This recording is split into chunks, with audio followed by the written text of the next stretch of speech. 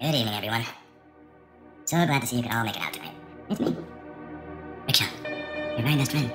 I thought, after the last time, that we'd never see each other again. But, um, well, I guess I'm surprised too. Here we are all, again. Doing what we do best. I can't wait to introduce you to some of my other friends that you haven't met yet. The rules are incredibly simple.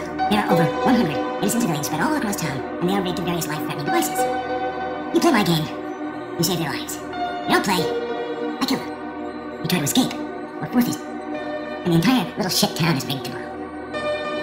What happened to using what we have to save people? We can't save everybody, man. We lose, we die. Okay, once we get out of here, we can sit down and point fingers at each other. But right now, if we slip up just once, he will find a way to kill us.